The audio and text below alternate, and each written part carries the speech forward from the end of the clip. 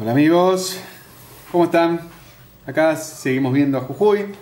Es extraordinario lugar que es Jujuy. No dejen, miren, miren lo que es eso. Eh, esto llegando a la Quiaca, miren lo que son las llamas ahí, más llamitas. Eh, este es el videito que se llama Seminario 25, ¿eh? es del Seminario de Autoayuda y Calidad de Vida.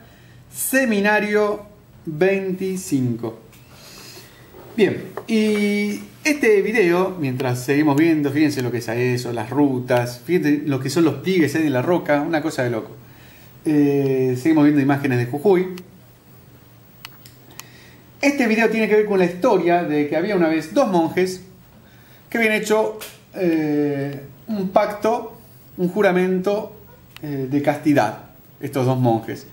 Entonces, un día salen a caminar, llegan a, la orilla de un río, estos dos monjes que habían hecho un pacto de castidad y de silencio, o sea, no podían tocar a ninguna mujer y no podían hablar con ninguna mujer.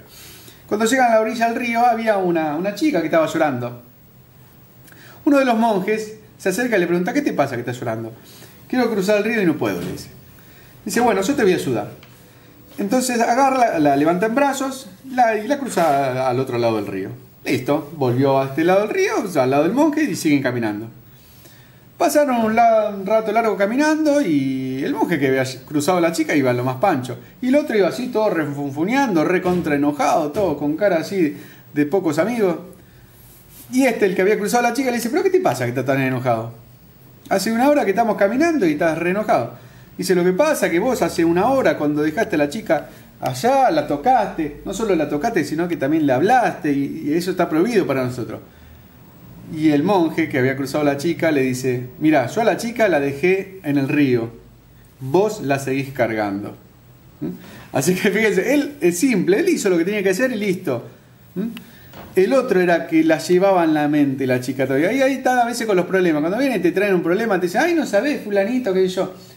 De depende cargarlo durante días, meses o años ese problema en tus brazos o decirlo, agarrarlo con respeto, escuchar la opinión del otro, los problemas que tiene, fíjate si lo puede ayudar bien y si no, bueno, ¿qué va a hacer? Pero no cargar tampoco el problema, tampoco le, sos de ayuda de esa manera. Lo agarrás, lo poseas y bueno, pásale que no vuelva aparte porque de esa forma, manera vas a poder ayudar a más gente. Si te seguís cargando con todos los problemas de toda la gente, terminás por no ayudar a nadie. Terminás siendo poco efectivo. Fíjate qué pasaría si vos en la mochila te vas cargando con todos los problemas de la gente. Va a llegar un momento que la columna se te va a torcer y no vas a poder cargar el problema de ninguno más. Esto es lo mismo. Se lo podés transportar durante un tiempo, después el problema tiene que volver a la persona para que se haga cargo.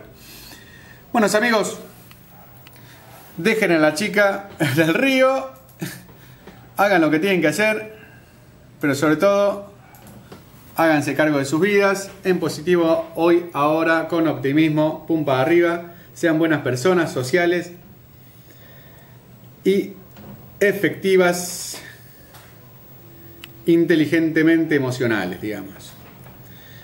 Como dice el Dalai Lama, hay que ser eh, inteligentemente egoísta, como dice el Dalai Lama. Eh, bien, ahí está eh, mi celu, si me quiere mandar un texto, el 155-140-8042 con el 011 adelante, espero sus textos.